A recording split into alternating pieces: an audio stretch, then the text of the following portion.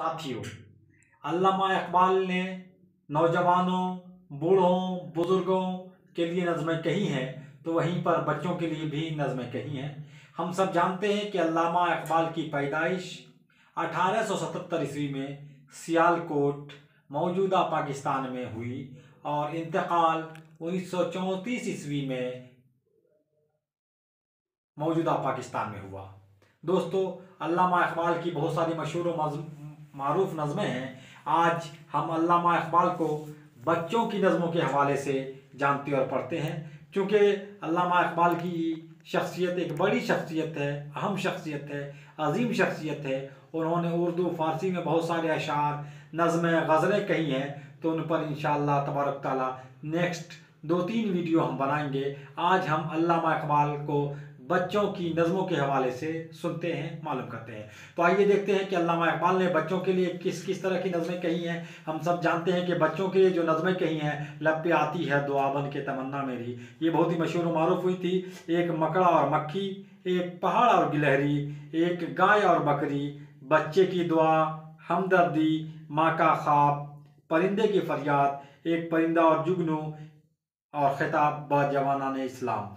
दोस्तों, हम ये भी जानते हैं कि अल्लामा इकबाल ने सिर्फ़ बच्चों के लिए ही नहीं, बल्कि बच्चियों के लिए, यानी ख़वातीन के लिए भी नज़में कही थी। और एक मशहूर शेर है उनका फ़ारसी में कि तू मी दानी के सोज़े खैरत तू।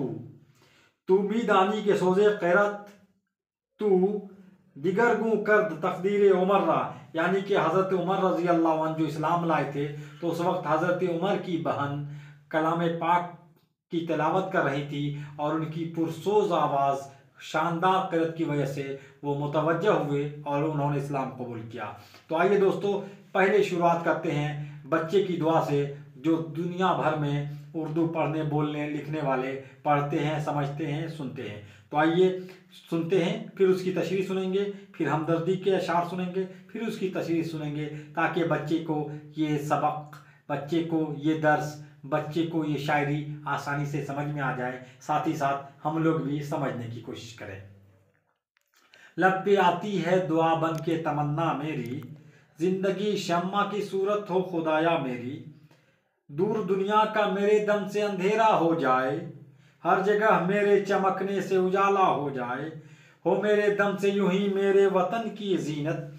जिस तरह फूल से होती है, चमन की जीनत।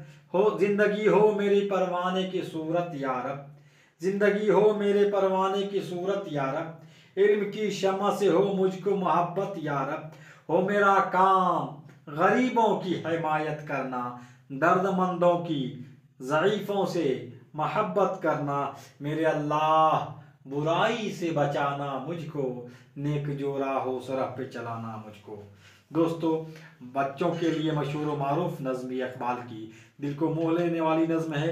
ये नज़म दुआया अंदाज में लिखी गई है। हम सब जानते हैं कि ये नज़म बहुत ज़्यादा मशहूर, मरूफ है। ये नज़म आसान, दिलकश, सबक आमोज और अल्फाज जुमले को शानदार अंदाज में पिरो करके पेश किया गया है।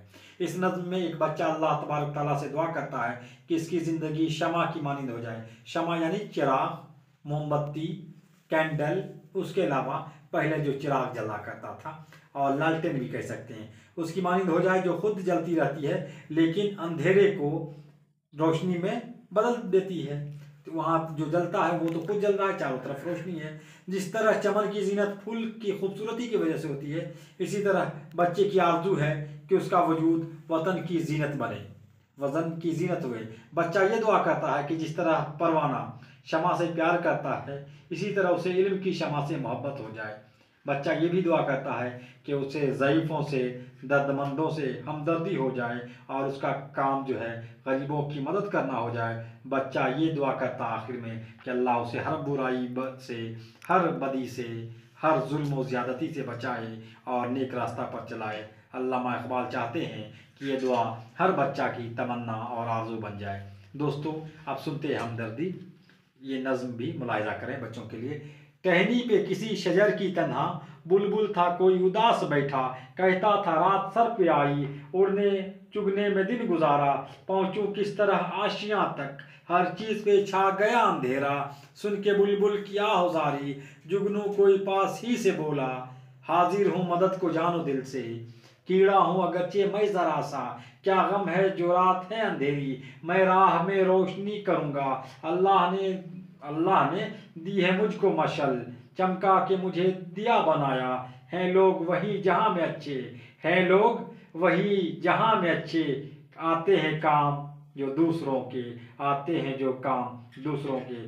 दोस्तों, इस नज़ में ये बताया गया है कि एक बुलबुल रात में तनहा दरख्त पर उदास, गमगीन मायूस बैठा हुआ था और कहता था कि उसने दिन भर रात उड़ने और दाना चुगने में, खाने पीने में गुजारा। अब रात आ गई है सर पर, अंधेरे में घोंसले तक कैसे पहुंचूँगा? तो उसके नज़दीक ही एक जुगनू आता है और वो कहता है कि तुम, मैं, मैंने तुम्हारी फरियाद सुनी, तुम घबराओ नहीं। अगरचे मैं थोड़ा सा छोटा सा बिल्कुल नन्ना मुन्ना सा कीड़ा हूँ, लेकिन मैं तुम्हारी मदद मदद को तुम्हारी रास्ते तक पहुँचाने के लिए हाजिर हूँ। तुम्हें घोंसला तक रोशनी के ज़रिए पहुँचाऊँगा। इस नज़म में अल्लाह इकबाल ने नसीहत की है कि आदमी चाहे छोटा हो या बड़ा, एक दूसरे की मदद करनी चाहिए और एक दूसरे के काम आना चाहिए। दुनिया में अच्छे लोग वही होते हैं, बेहतरीन और खुश तरीन लोग वही होते हैं जो दूसरों के काम आते हैं। दोस्तों, एक और नज़म हम सुनते हैं, एक परिंदा और एक जुगनू। ये बहुत ही मशहूर और मरूफ नज़म है। उसके बाद फिर अगर टाइम रहा तो फिर हम एक पहाड़ और गिलहरी या एक मकड़ा और मक्खी को भी सुन सकते हैं, लेकिन उनकी तशरी शायद वक्त ज़्यादा ले ले। लेकिन पहले एक सुन लेते हैं, एक परिंदा और एक जुगनू का। सरे शाम एक मुर्ग नगमा पेरा, किसी टहनी पे बैठा गा रहा था। चमकती चीज़ एक देखी जमी पर, उड़ा तायर उसे जुगनू समझकर।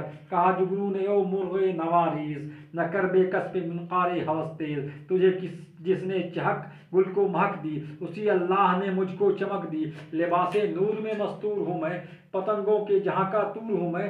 चहक तेरी बहते गोश अगर है, चमक मेरी भी फिर दो से नज़र है। परों को मेरे कुदरत, परों को मेरे कुदरत ने ज्यादी तुझे उसने सदाए दिल बरा, दिल रुबा दी। तेरी मिनकार को गाना सिखाया, मुझे गुलजार की मशल बनाया। चमक बख्शी मुझे आवाज़ तुझको, दिया है सोज मुझको, साज तुझको। मुखालिफ, साज का होता नहीं सोज, जहाँ में साज का है, हम नशी सोज। क़याम बज़ में हस्ती से है, इन्हीं से। जहूर ओज पस्ती है, इन्हीं से। हमाहंगी से है महफिल, जहाँ की, उसी से है बहा इस बोस्ता की। दोस्तों, इसमें भी शाम के वक्त एक परिंदा दरख्त पर बैठा चह चाह रहा था। उसने ज़मीन पर एक चमकती हुई चीज़ देखी। चमक जुगनू की थी। परिंदा ने दरख्त से उतर कर जुगनू को हड़प करना चाहा। उसी वक्त जुगनू ने परिंदा से कहा कि तू एक दिलकश आवाज़ रखता है लेकिन तुझे मेरा शिकार नहीं करना चाहिए। अय परिंदे जिसने जिस अल्लाह ने तुझे गाना सिखाया फूलों को खुशबू क्या हुआ? नूर हूँ। दुनिया मुख्तलिफ़ चीज़ों की वजह से कायम है। उसमें हर चीज़ का एक मकाम है। सोजो सास पस्ती बुलंदी ऊंचाई नीचाई अरफा आला, सबकी अपनी जगह अहमियत है। इन मुख्तलिफ़ चीज़ों में हम आहंगी से फितरत का हौसन कायम है। इसीलिए लालच में अपनी चोंच मेरा शिकार करने के लिए तेज़ न कर। तेरा वजूद अपनी जगह और मेरा भी एक मरतबा है। हर एक को बरकरार रखने में ही ज़िंदगी है और इससे चमन की रौनक और बहार है। इस नज़म में इकबाल यही बात सिखा रहे हैं कि दुनिया की रौनक एक दूसरे से मुख्तलिफ़ चीज़ों में है और ये चीज़ें हम आहंगी, हम दोस्ती हम ख्यालात से कायम दायम है। दोस्तों, इसी के साथ हम एक आखिरी नज़म पर अपनी बात को ख़त्म करते हैं। असल में एक पहाड़ और गिलहरी जो है, बहुत मशहूर और मरूफ नज़म है, क्योंकि पहाड़ और गिलहरी का आपस में मुकालमा होता है और वो क्या कहता है, सुनिएगा। बस दो तीन मिनट के लिए कि कोई पहाड़ ये कहता था, एक गिलहरी से कोई पहाड़ ये कहता था, एक गिलहरी से तुझे हो शर्म तो पानी में जाके डूब मरे। जरा सी चीज़ है, इस पे गुरूर क्या कहना? ये अकल और ये समझ, ये शरूर क्या कहना? खुदा की शान है, ना चीज़ चीज़ बन बैठी जो बेशूर हूँ। यूँ बात तमीज बन बैठी।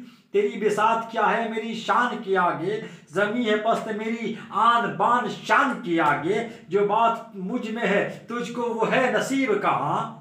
भला पहाड़ कहाँ, जानवर गरीब कहाँ? अब ये देखिए, पहाड़ के बाद गिलहरी क्या कहता है? कहा सुन के ये गिलहरी ने मुँह संभाल जरा, ये कच्ची बातें हैं, दिल से उन्हें निकाल जरा, जो मैं बड़ी नहीं तेरी तो क्या परवाह? नहीं है तू भी तो आखिर मेरी तरह छोटा, हर एक चीज़ से पैदा खुदा की कुदरत है, कोई बड़ा, कोई छोटा, ये उसकी हिकमत है, ये अल्लाह की हिकमत है बेशक। बड़ा जहान में तुझको बना दिया उसने, मुझे दरख्त पर चढ़ना सिखा दिया उसने, कदम उठाने की ताकत नहीं जरा तुझ में। बड़ा, निरी बड़ाई है खूबी है और क्या तुझमें जो तू बड़ा है तो मुझसा हुनर दिखा मुझको, ये छालिया ही जरा तोड़ कर दिखा मुझको। नहीं है चीज़ निकम्मी कोई जमाने में, कोई बुरा नहीं कुदरत के कारखाने में।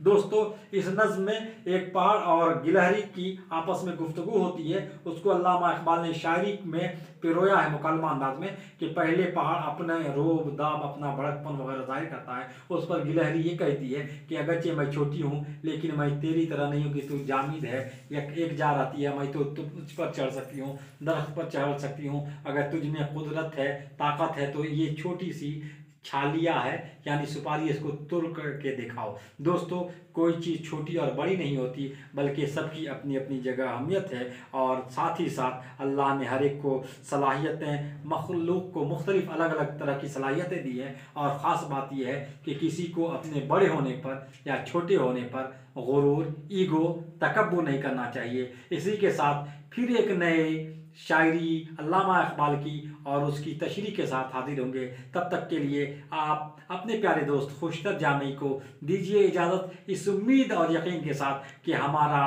प्रोग्राम आप ज़रूर देखेंगे और साथ ही साथ मेरा यूट्यूब चैनल चलते चलते बाय खुशतर को like comments subscribe share forward ज़रूर करते रहेंगे। तो दीजिए इजाज़त। Thank you so much all the best